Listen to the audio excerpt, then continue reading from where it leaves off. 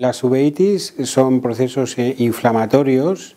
eh, e infecciosos que afectan una estructura eh,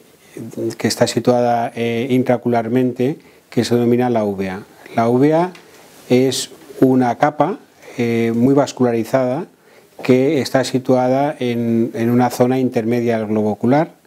y que tiene una relación eh, muy, muy, cercana a la retina, porque está justo en la vecindad, de, la vecindad de la retina, en su parte más posterior, la parte más de atrás, y en la parte más anterior del ojo, esa uvea tiene relación con eh, estructuras como puede ser el cristalino, como puede ser la cámara anterior. Por lo tanto, las estructuras, las uveitis o las inflamaciones de la uvea que producen uveitis que están en contacto con la retina son más graves desde el punto de vista de pronóstico visual. Eh, las, uveitis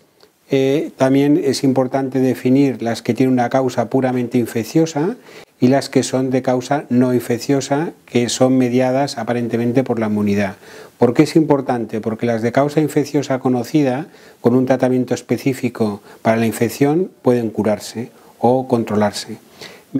mientras que las que son de causa no infecciosa, pues fundamentalmente hay que pensar que son enfermedades con un curso variable, pero que en algunos casos, al estar mediadas por la inmunidad, serían enfermedades en principio de una, base, una cierta base autoinmune y, tendrían una tendencia a la cronicidad. Por lo tanto, requerían tratamientos durante un tiempo variable que puede ser un tiempo prolongado.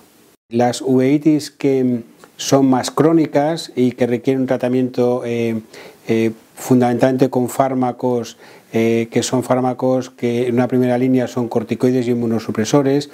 eh, evidentemente van a tener efectos secundarios y que van a tener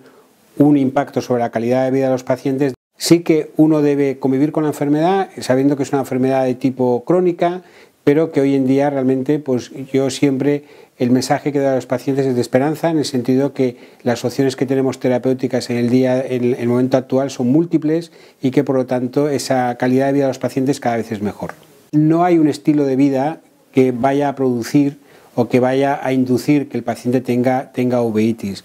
Que el estrés va a condicionar muchas veces una disfunción del sistema inmunitario, difícil de medir y difícil de cuantificar, pero que eh, realmente puede ser que induzca eh, cambios inflamatorios. Por lo tanto, sí que es verdad que es importante llevar un tipo de vida relajado, un tipo de asumir en cierta manera su enfermedad. Eh, en ese momento que uno asume la enfermedad, yo creo que convive mejor con ella también, tener una buena relación con el, con el oftalmólogo que va a controlarlo, yo creo que todo eso son factores muy importantes.